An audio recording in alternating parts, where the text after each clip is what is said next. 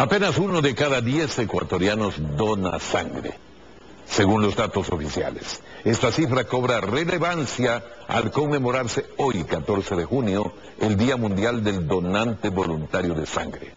Entonces, un homenaje a personas anónimas y altruistas que de una manera desinteresada dan su apoyo a la humanidad con sus donaciones. Como informa Fernando Terranova, cada pinta permite salvar la vida de hasta siete personas. A propósito del Día Mundial del Donante Voluntario de Sangre, la Cruz Roja Ecuatoriana intensificó sus campañas. María Paulina Ulloa se sumó a esta iniciativa. Esto no, duele, eh, no, no, perjudica, más bien estamos ayudando a salvar muchas vidas y, es, es grato hacerlo, es noble. Carlos Burneo, secretario general de la Cruz Roja y director del Banco de Sangre, explica que aunque cada vez se requiere de más productos sanguíneos, la cantidad de donantes no aumenta. Hay dos tipos de donantes. El donante voluntario, altruista, que es el que buscamos en Cruz Roja. Esa persona que dona sin saber para quién, sin esperar nada a cambio y que lo hace al menos dos veces al año.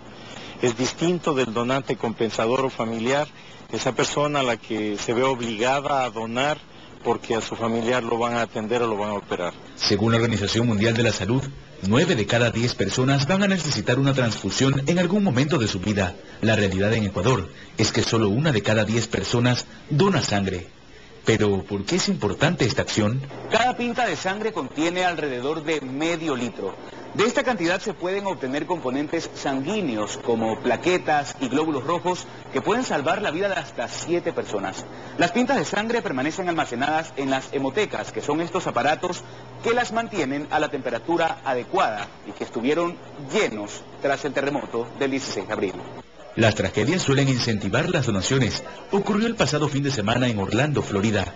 Miles de personas abarrotaron los bancos de sangre de la ciudad tras la masacre en una discoteca en la que murieron al menos 50 personas. Pero el secretario de la Cruz Roja dice que la solidaridad debe ser permanente. Si es que todos los ecuatorianos que estamos en capacidad de donar lo hiciéramos dos veces al año, no hubiera ninguna necesidad de que Cruz Roja esté dedicada a hacer campañas todos los días.